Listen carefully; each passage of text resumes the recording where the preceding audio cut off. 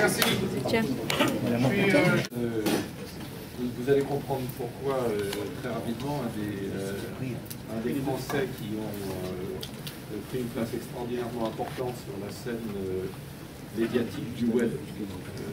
D'ailleurs, il a fondé, vous verrez, une, une- une conférence qui s'appelle Le Web, et dont j'avance un peu, mais je reviendrai après dans, dans le propos, et dont la caractéristique, c'est d'être fait à Paris uniquement en anglais. Alors évidemment, ça a créé un certain nombre de, de- de protestations, etc. Mais si vous voulez, euh, si vous voulez être- Éteignez vos selles. ah oui, c'est 100 dollars le, le- le téléphone euh, commerçant. Donc euh, tu, tu tombais dedans quand tu étais tout petit, hein, dans, le- dans l'entreprise euh, individuelle. Et ils étaient euh, concessionnaires pour Beneteau, pour le, pour le Roussillon.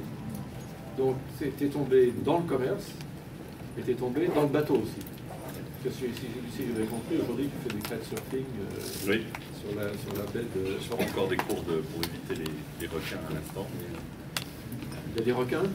Il paraît, je ne les ai pas vus, moi j'en fais à Fleur d'Avenue euh, ici, donc euh, je ne l'ai pas vu encore. Moi, je croyais qu'ils étaient tous dans C'est C'est ça aussi. Non, je sais. Senior Road, c'est la- l'avenue de venture capitaliste euh, pour nos visiteurs qu'on appelle aussi les vautours capitalistes. Donc, euh, on nous traite de requins puisque je suis un d'entre eux. Donc, euh, très bien. Donc, donc ça, très tôt, tu t'es trouvé, tu as vu tes parents euh, faire du commerce et ça t'a donné... euh, pour, pour toi, c'était inévitable. C'est pas vrai, enfin, c'est surtout le, le- le- Disons je, les ai vus, mon grand-père était entrepreneur, ils étaient entrepreneurs, j'ai toujours vu, euh, j'ai été inspiré par le fait de travailler pour soi, plus que le commerce. Euh, et ça m'a donné envie de travailler pour moi. Ça, j'ai réussi jusque-là. Donc tu as, tu as été au lycée à Perpignan, tu as fait une prépa euh, à Paris euh, pour, pour HEC. Tu as, hésité un- petit peu entre, entre Matsup et, et HEC, entre, entre Taupin et Épicier. Et donc euh, tu as choisi les épices.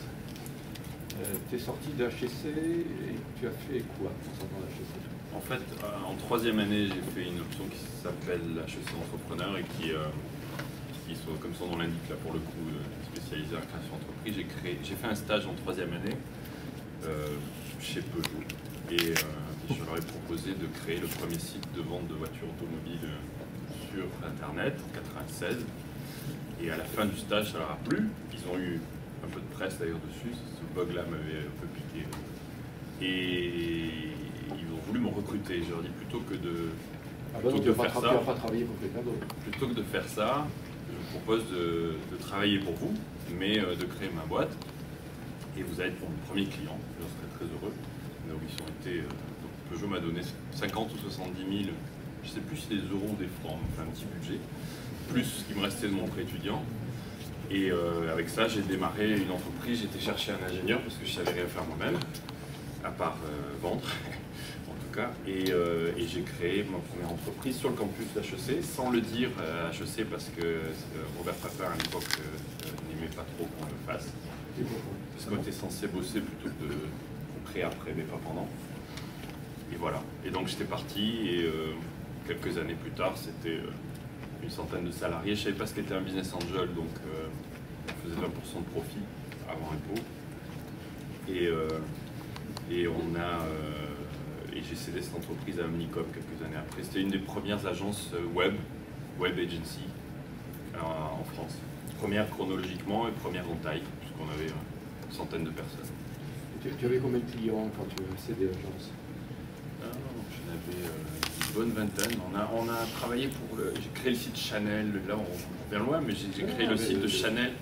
Euh, j'ai créé le site, de- les sites de Peugeot. J'ai créé. euh, euh, j'ai travaillé pour 20th Century Fox, pour Printemps, pour beaucoup de marques françaises, surtout des marques françaises. Et, euh, et c'était une excellente expérience, sauf que j'ai appris en fait en marchant que le service, euh, que le conseil, c'était du conseil en fait. C'était un. Il y avait beaucoup de très difficile de le, de le faire croître sans augmenter la masse salariale, il n'y avait pas d'effet de levier. Et donc euh, c'était profitable, mais j'avais un problème euh, lié au conseil, c'est que plus vous, vous avez de croissance et plus vous recrutez. C'est pour ça que je me suis retrouvé avec une centaine de personnes, parce qu'on n'avait pas assez de personnes. Et, euh, donc je me suis dit, il faut que je trouve autre chose, pas que j'ai quoi que ce soit pour les professions de conseil, comme les avocats par exemple, c'est un job remarquable, mais vous vendez du temps. Et du coup, plus vous vendez, plus vous avez besoin de salariés et de collaborateurs. Et je me suis demandé si je pouvais pas trouver. J'ai appris ce que c'était que l'effet de levier. Je savais pas ce que c'était, là j'ai appris. Et, et par, exemple de Chanel, parle un peu de, ça quand même. Quel était ton pitch? Qu'est-ce que tu leur vendais? Tu vas voir Chanel. C'était eux qui venaient te voir, c'est toi qui allais les voir au début, c'était moi qui allais les voir. J'étais en, euh, troisième année à HEC, je prenais ma moto et j'allais connecter pendant que mes, camarades, quelques mois après, euh, allaient dans les grands groupes. euh, Moi, j'étais sur ma moto et je connectais les conseillers parisiens avec des modems. Donc, j'allais acheter les modems, vous savez, 9006 ou 288 à l'époque. Puis, je les installais là-bas et je- j'expliquais ça à des concessionnaires automobiles. Euh, et en fait, on essayait ensuite de connecter leur stock très difficile, il n'y avait rien de connecté, pour le mettre sur Internet. Et on a réussi, mais c'était une expérience assez intéressante. Donc non, ils ne venaient pas me chercher, c'était moi qui allais les chercher. Et la première année, je ne me suis pas payé non plus. Donc je faisais pas, je faisais des choses assez... euh, euh, oui, mais pas trop comme mes potes à HEC. Euh, c'est vrai qu'on a tendance plus à aller euh, dans le conseil ou dans... Voilà. Et, euh, et, et voilà. Et, et ensuite, bah, je- non, Donc, Chanel, alors, bah, après c'est le que- bouche à oreille. Qu'est-ce que tu racontes Qu'est-ce que tu. tu, tu... 96, je me souviens plus trop, mais euh, euh, il y a plein d'anecdotes. Euh, J'ai créé le site de Chanel avec, en- en- et on a eu un rendez-vous d'équipe avec Karl Lagerfeld. Tout- dans toutes les expériences d'entreprise, il y a des, des anecdotes comme ça, mais on a eu une réunion dans laquelle on, on créa à l'époque, il y avait, qui était très jeune, et euh, a été expliqué à Karl Lagerfeld qu'il avait choisi ce vert parce que euh, c'était vraiment. euh, donc on parlait beaucoup des couleurs sur le web à l'époque. Et euh, il lui a dit c'est un vert jade, et je sais plus ce qu'il y a. Vous savez, dans les agences, on raconte beaucoup de. donc, la manière dont on présente est très importante. Et il nous a coupé, et je me suis. C'est pas, c'est pas du tout, du tout un vert jade. Je lui montrais ce qu'est un vert jade. On était chez lui. Il a été chercher une statue de l'université. qu'il a posée. et euh, et, et c'était assez intéressant. Pas mal d'anecdotes. On parlait beaucoup de, sincèrement, le web à l'époque, pour les grandes entreprises, c'était à quoi il ressemblait en ligne. en fait. Plutôt que l'efficacité, puisque les ventes, le e-commerce n'existaient pas. Et donc, c'était des super plaquettes. Ce qui n'est pas péjoratif, euh, c'est important aussi. C'est le début. Voilà. Tu, tu- tu me dis que tu as été piqué à l'Internet à la suite d'un stage chez Texas Instruments. Oui, j'étais en. Ça, c'est plutôt, donc c'est en première année HEC. J'étais dans un. On avait des stages de un an à l'époque et. euh, Et je suis arrivé chez Texas Instruments obsédé par l'idée toujours de créer une entreprise. Et puis, euh, disons que le monde euh, de l'informatique m'intéressait, mais je suis tombé la première fois sur euh, Mosaic euh, en 94. Et puis sur David Philo et Jerry Young's homepage, donc qui allait devenir Yahoo. Mo- mo- Et- Mosaïque, pour ceux qui, qui, qui n'étaient pas nés, euh, c'est- Netscape. Mosaïque, c'est l'ancêtre de- de- du browser de Netscape, qui est l'ancêtre de pratiquement tous les browsers. Voilà. Et je me suis baladé sur les quelques milliers de pages web qui existaient à l'époque. Euh, donc à nouveau, hein, 94. Euh, et j'y ai passé tout mon j'ai- je me suis dit, c'est, je vais passer ma vie euh, là-dedans. Je ne sais pas ce que ça va être.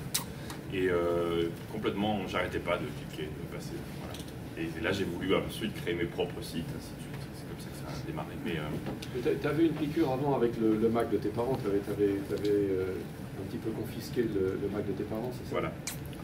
Euh, Ton père avait acheté un Mac pour Vous avez acheté un Mac en 84, les premiers pour l'entreprise, et je l'aurais euh, subtilisé. euh, parce que j'avais, voilà, ils m'ont laissé faire. C'était pas mal. Mais ça remonte assez loin, oui. Très bien. Donc tu, tu vends ton agence à Omnicom.